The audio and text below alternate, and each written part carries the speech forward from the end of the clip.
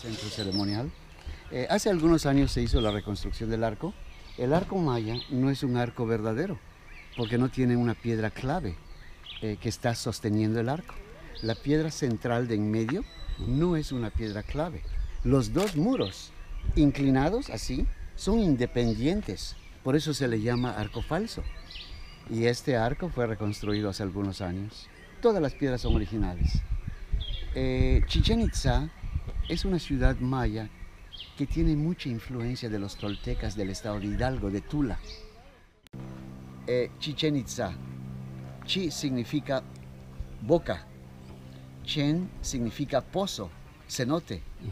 Y la última sílaba, Itza, es el nombre de los mayas, los Itzaes. Chichen Itza significa la boca del pozo de los Itzaes. O la boca del pozo de los brujos del agua, porque Itz es, es brujo y Ha es agua, brujo del agua. Oh. Chichen Itza o.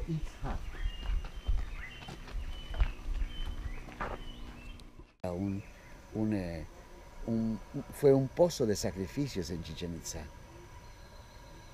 Los, los cenotes son formaciones naturales que debido al tipo de suelo que tenemos, que es calizo, es calcáreo, cuando el agua de, lluvia se filtra a través de la roca, va formando cavidades internas, va erosionando y va formando cenotes. Tenemos 2.600 cenotes en Yucatán, como de forma fetal, como los bebés. Siempre les dejaban agua y comida a los muertos para ese, ese viaje que iban a realizar eh, a, una, a una nueva vida. Se le llama la tumba de los sacerdotes.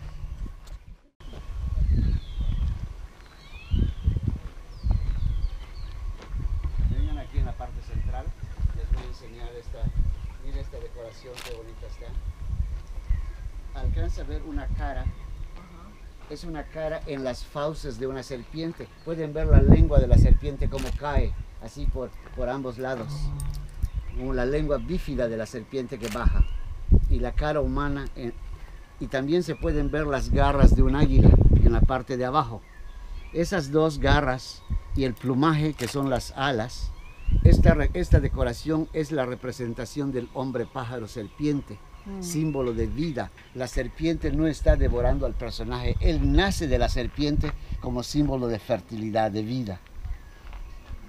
Ahora, tenemos una decoración de una estrella completamente deteriorada, muy erosionada, y precisamente por esa estrella se le dio el nombre de la plataforma de Venus. Los arqueólogos han relacionado esta estrella con el lucero de la mañana o el de la tarde, con Venus. Precisamente por eso se le dio el nombre de la plataforma de Venus. Los mayas eran astrónomos. Mira esta pirámide muy pequeñita. La parte más alta, donde están las cabezas de la serpiente, mira. Esas son dos cabezas de serpiente. Ajá. Y aquella piedra que está detrás del árbol es la cola de la serpiente. Mire, se cayó. Esa piedra que está detrás del árbol es la cola de la serpiente. La otra está quebrada, más para allá. Pueden ver quebrado Oh, los sí, sí, peda- sí. la cola de la serpiente. Sí. Bueno, esta pirámide. Say hi. Hola.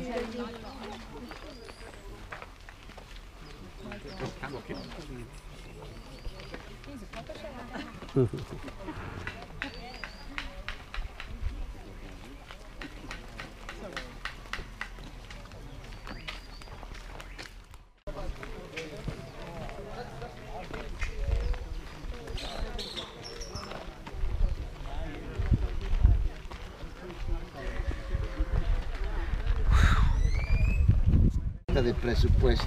Entonces, en realidad, este, eh, mm, Chichen Itza es muy grande. Eh, toda la ciudad cubre, son 6 kilómetros de norte a sur y 4 kilómetros de oriente a poniente. Sí, son otros diferentes.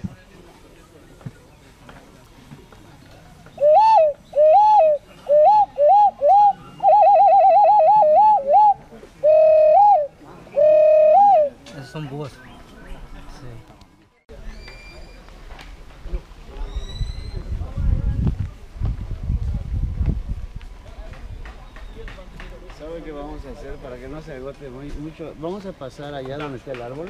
Hay unas bancas, allá se puede sentar un momentito. En donde está ese, ese árbol hay bancas y allá se puede sentar en la sombra. Vamos allá. Y desde allá se puede dominar.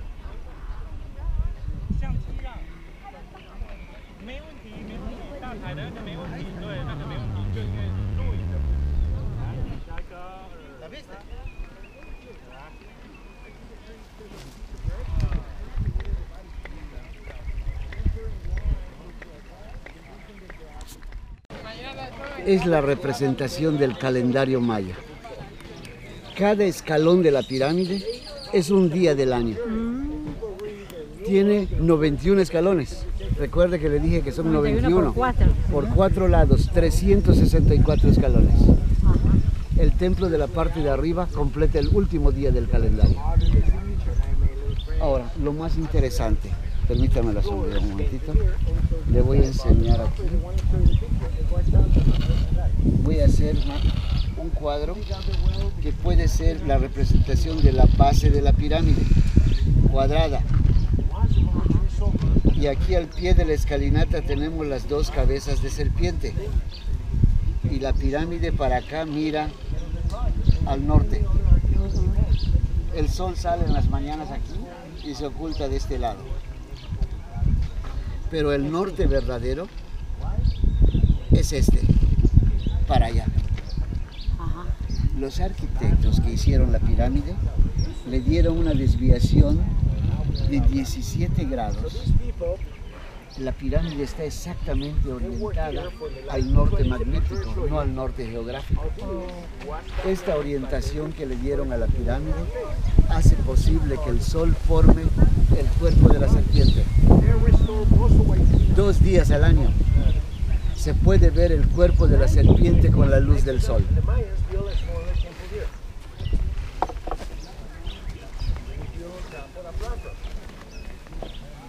Quiero que vean esto. Vean la cabeza de la serpiente.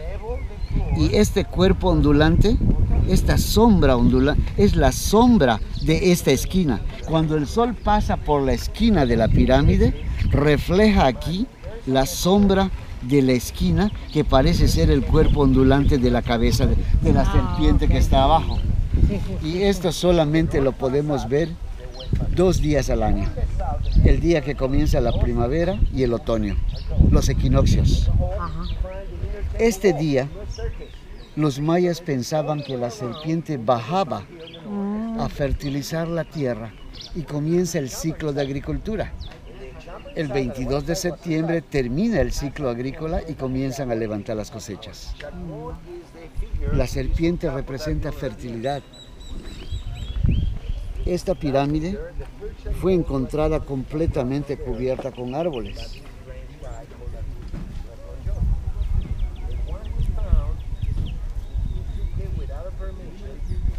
Mire, vea cómo estaba la pirámide cuando estaba cubierta con árboles. Toda. Esta no es una fotografía, este es un dibujo que se hizo por el primer viajero a Chichen Itza. Esta sí es una fotografía, todo destruido. Vean la cabeza de la serpiente abajo. Y en 1936 encontraron otra pirámide en el interior. Miren, son dos pirámides, una sobre la otra. Esa puerta es una excavación arqueológica de 1936. Encontraron la escalinata original de la otra pirámide. Son dos pirámides, una sobre la otra. Y en la, en la primera pirámide encontraron un jaguar con los ojos de jade. Este jaguar, todas las piezas de- verdes en el cuerpo son de jade, los ojos son de jade y los dientes de pedernal. Pero como el jaguar es un animal nocturno de la noche, ellos pensaban y tenían la creencia que el jaguar era el guardián del inframundo, de Xibalbá. Xibalbá es el inframundo.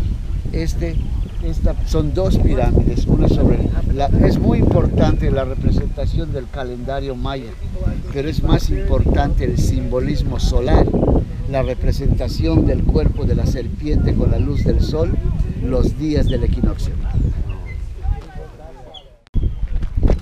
vamos a ver águilas y jaguares devorando corazones. Estas plataformas fueron usadas para danzas, ceremonias, son como escenarios. Entonces, entonces sí.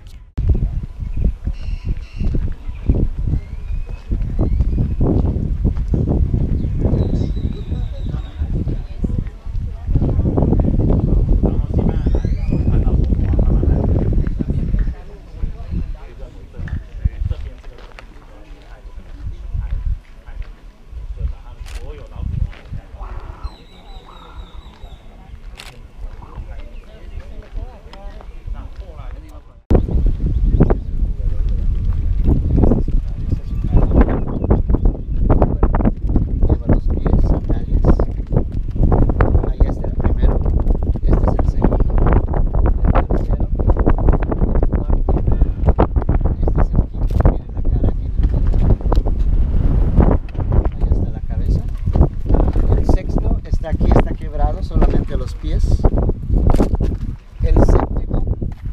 Oh, este es muy importante.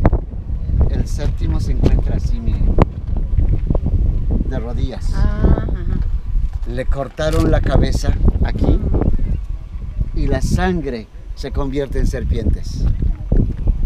Este fue decapitado. Detrás de este jugador hay seis. Son siete jugadores por. El primer jugador de este lado, este círculo que ven aquí, representa la pelota y divide los dos equipos. Siete y siete. El primero de este lado, miren, ahí está su cabeza, su cara el, otro lleva en la mano la cabeza de ese jugador y en la otra mano el cuchillo, de obsidiana. Eso nos da a entender que el jugador del equipo contrario lo decapitó. Lleva la cabeza y el cuchillo de aquel, la cabeza de ese jugador. ¿Por qué la sangre se convierte en serpientes? Porque la serpiente representa la fertilidad y es muy probable que la idea era de fertilizar con la sangre de los decapitados.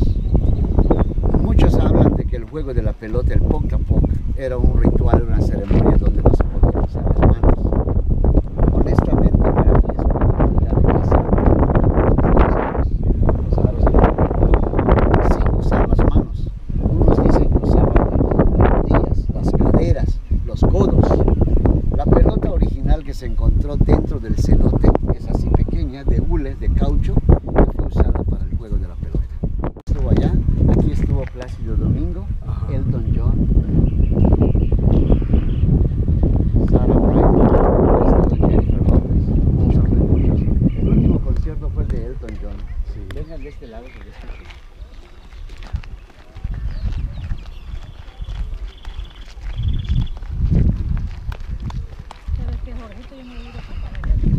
Краснодарский.